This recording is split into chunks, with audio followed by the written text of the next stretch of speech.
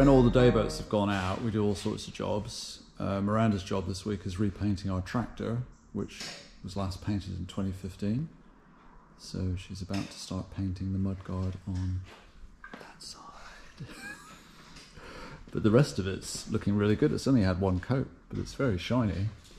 I was quite surprised at how glossy this paint is, given that it's basically industrial tractor paint.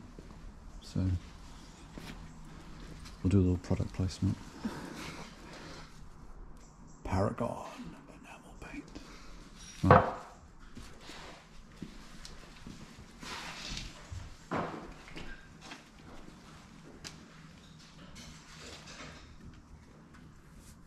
So satisfying. First coat's always the best, isn't it? Yeah.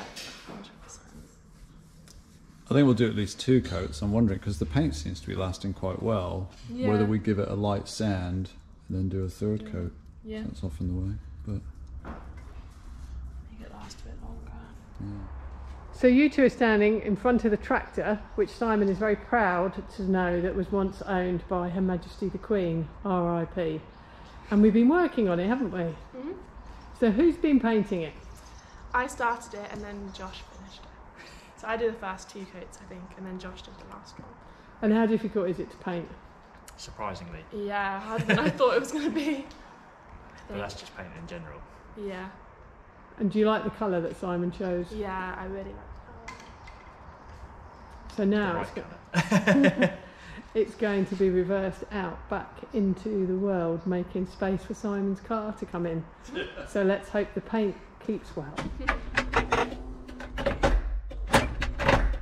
It's got a flat battery.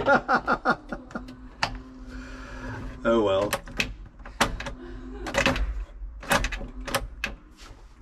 So we're not starting it.